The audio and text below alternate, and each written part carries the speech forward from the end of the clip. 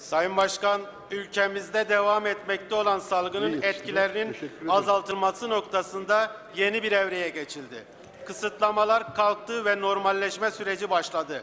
Covid-19'un üretime olumsuz etkilerine rağmen istihdamı önceliği, önceliğine alan sanayicilerimiz kamunun da desteğiyle istihdama devam ettiler.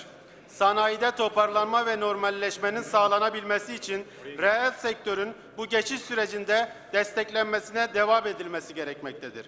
Bu süreçte yapılan desteklerden kısa çalışma ödeneğinin üreticimize önemli katkıları olmuştur. Ancak kısa çalışma ödeneğine başvurular 30 Haziran'da sona erecektir. İşveren ve çalışanlar açısından salgının olumsuz etkilerinin atlatılabilmesi için bu desteğin bir süre daha uzatılmasının değerlendirilmesi gerekmektedir. İstihdamın sürdürülebilirliğine etkisinin olumlu olacağını düşünmekteyiz. Teşekkür ederim.